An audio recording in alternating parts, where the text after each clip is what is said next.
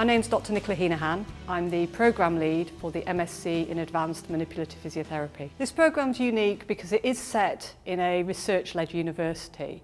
The programme is validated externally within the UK by the Musculoskeletal Association of Chartered Physiotherapists, which is the UK member organisation for a global um, organisation called IFOMPT, or the International Federation of Orthopaedic Manipulative Physiotherapists. And what that does is it gives you a framework of standards that we are striving for students to achieve through the curriculum that we have developed for our programme. What's fantastic from a practice perspective is that it combines theory, um, research and then also practice. So within the programme there is teaching of research methods, there's also the specialist manipulative physiotherapy modules where people get a chance to develop and critique their practical skills. And then it all comes together towards the end of the programme when they go on a period of mentored practice.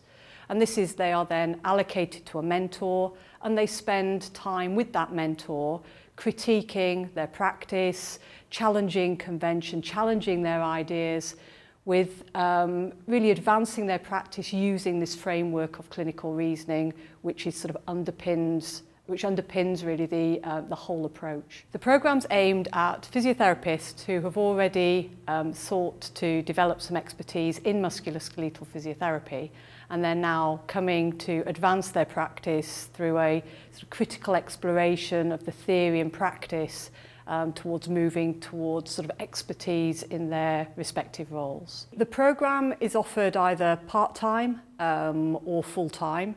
Um, there are opportunities for students to do some components as distance learning, so for example the research methods and other modules um, where there is a sort of generic structure that can be taken at a distance.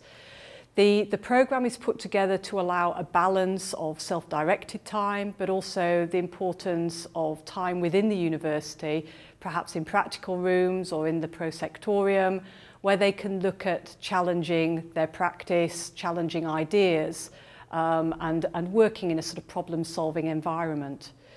The, the module assessment is broad and varied, and we feel this meets the requirements of practice. So students may be asked to do seminars which are assessed. They'll obviously be assessed on their clinical placements. They may be assessed by doing research proposals. So a really varied approach to assessment of students.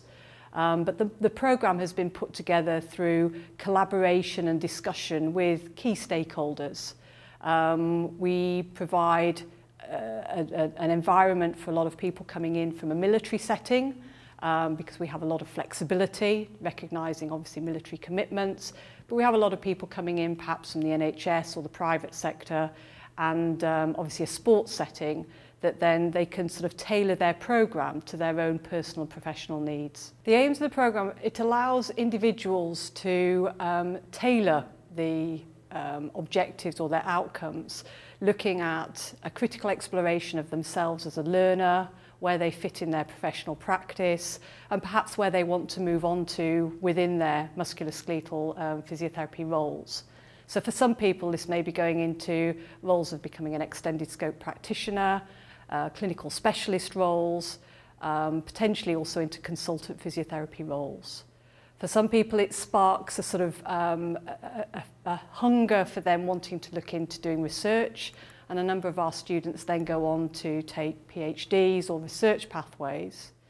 And in fact, a good number of our current students are offering to come back to get involved in teaching, um, and some of them have secured quite, um, uh, quite a large workload in terms of teaching and supporting students on our undergraduate programs and our pre-registration programs. The course has been running for a number of years. It's very established. We have um, a good level of external lecturers coming in. Um, so we bring in leaders in the, their field, so for perhaps researchers or clinicians, to support the education.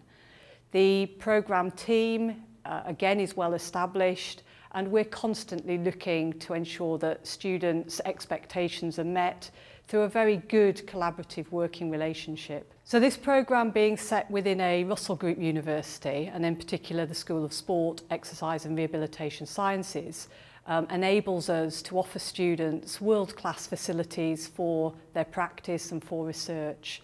Um, the staff who contribute to the programme are also um, research focused and particularly in terms of where, where our expertise is, is within sort of spinal, musculoskeletal rehabilitation um, areas of practice. So being able to bring together the, the balance of practice and research within the facilities that the school offers um, gives a really good sort of setting for our students coming in to advance their, their skills.